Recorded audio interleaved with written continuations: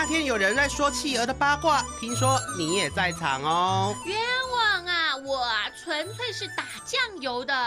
打酱油？你是要做菜哦去那里买酱油？大陆说的打酱油其实就是说这件事不干我的事那天我只是碰巧路过而已。